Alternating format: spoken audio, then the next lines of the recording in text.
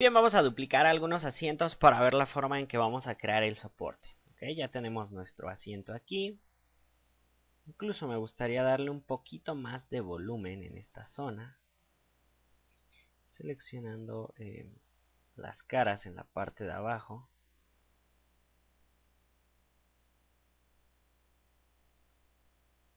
podemos moverlas levemente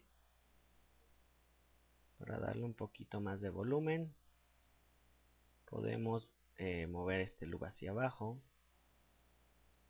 Y me gustaría crear una especie de detalle aquí una pequeña zanjita me parece que le daría vista. Vamos a insertar dos loops pegados.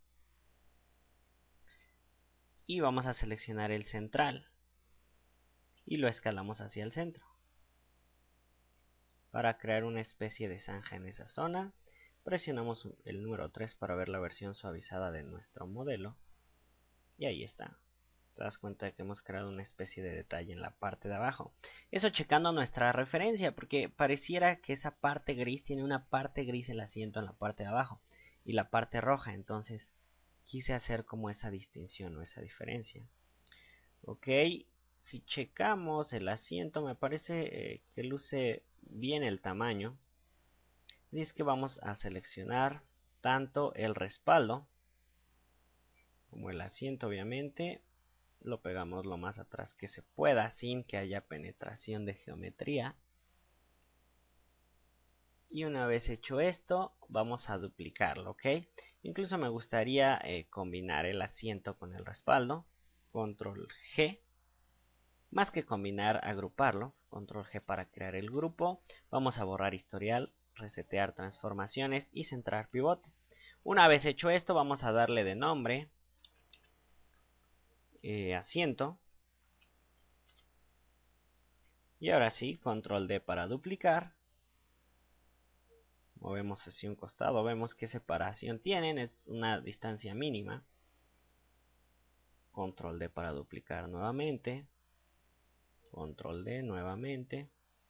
Nos vamos distribuyendo, es necesario cerciorarnos de que luzcan bien nuestros asientos. Que luzcan un buen tamaño proporcional y me parece incluso que lucen muy bien. Podemos seguir eh, recuerda que para seleccionar el grupo seleccionas cualquier parte del grupo y presionas, eh, presionas perdón, tu tecla de dirección arriba es decir la flecha de tu teclado que está hacia arriba. Podemos ingresar algún otro aquí algún otro asiento. Ahí está eh, me parece eh, que luce adecuadamente, lucen adecuadamente nuestros asientos. Podemos obviamente crearlos del frente, ¿ok? Para hacerlo más rápidamente seleccionamos cada pieza de cada grupo o cada pieza de cada asiento. Eh, tecla de dirección arriba, control G para crear un grupo más amplio. Desde luego borramos historial, reseteamos transformaciones, entramos pivote. Eh, vamos a presionar control D para duplicar y en el eje de X en la escala ponemos menos 1 y tendremos los asientos de enfrente para hacerlo de forma más rápida. Obviamente lo más pegado a la ventana sin que haya penetración de geometría. Y listo ya tenemos los asientos también de enfrente y obviamente podemos eh, empezar a checar en qué forma están acomodados de acuerdo a nuestra referencia. Obviamente podemos checar también imágenes en internet, no es necesario solo en estas ver en qué forma los acomodan. Y podemos empezar a crear esta pequeña, este pequeño muro o lámina, que divide los asientos entre los pasajeros que irán parados, al lado. Así es que prácticamente es un cubo suavizado, te das cuenta que la altura va desde casi el piso, hasta eh, rebasar un poquito los respaldos. Así es que vamos a crear rápidamente esta pieza. Vamos a crear un cubo. Aquí está, obviamente. Vamos a darle el grosor adecuado. Checando la referencia te das cuenta que es un grosor mínimo. Así es que vamos a darle ese grosor mínimo. Eh, la ponemos en posición, incluso obviamente tú eres el que acomodará todas las cosas en esta eh, parte, ya que muchas veces está entrando, o sea, de las puertas al lado, una a cada costado. Eh, ya tendrás tú la decisión de dónde colocarlas.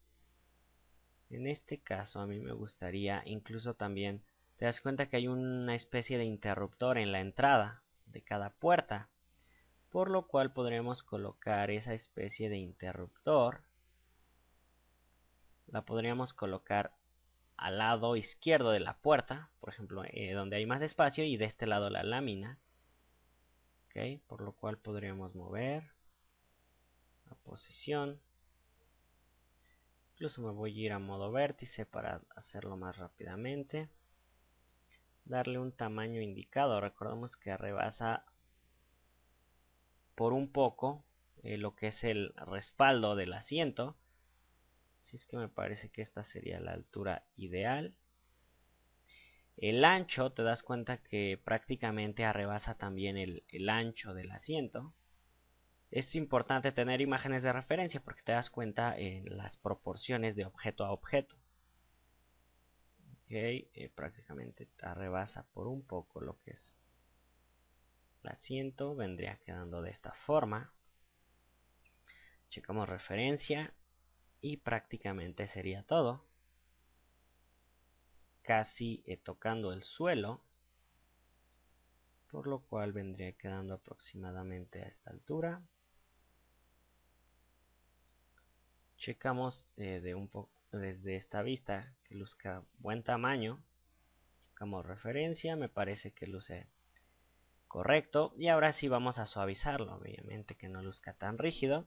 Y simplemente vamos a insertar los loops para que luzca suavizado y refinado al mismo tiempo. En cada loop de la orilla para mantener la forma. Justo lo que hemos venido haciendo justo la técnica con la que suavizamos eh, nuestro vagón. Activamos la herramienta mover, presionamos el número 3 y ahí está nuestra pequeña lámina perfectamente suavizada. Desde luego, checando la referencia, parece que tiene el tubo que sube como si subiera a través de la lámina, da vuelta y baja aquí, en forma de N, de N minúscula, desde luego. Vamos a detener la lección hasta aquí. En nuestra siguiente lección vamos a crear este forma, este tubo. Lo mismo este tubo central y algún tubo que recorra toda la parte de arriba. Que es eh, para las personas que vayan paradas se puedan sostener, ¿ok? Pero eso lo hacemos en nuestra siguiente lección.